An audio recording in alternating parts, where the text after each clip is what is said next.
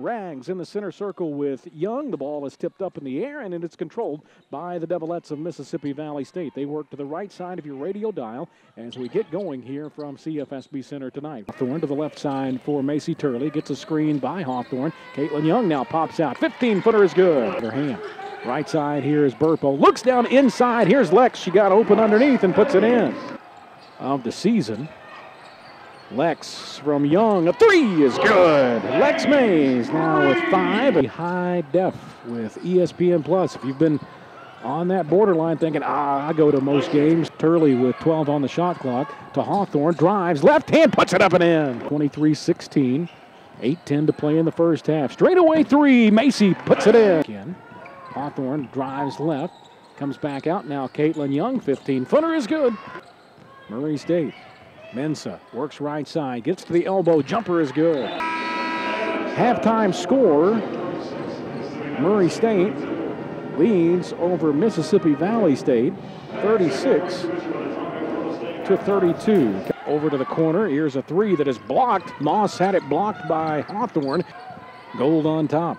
Here is Smith, had it taken away here by Macy Turley. Macy works it up the left side, cuts back to the free throw line. Over to Lex. Three. Got it. Works over to Macy Gibson, who is back into the game. Here goes Burpo. Left side. Down low. Puts it in. To Young.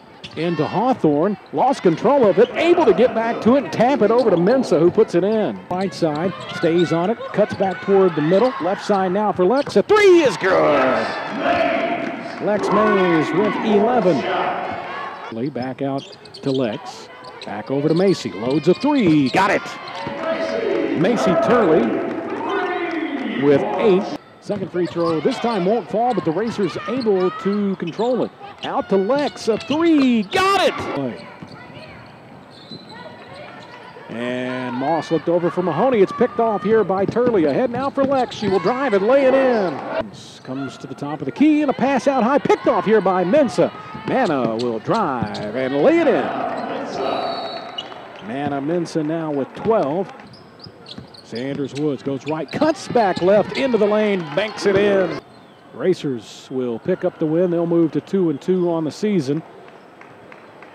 And have a couple of days off before they will take on North Alabama on the road next Monday night.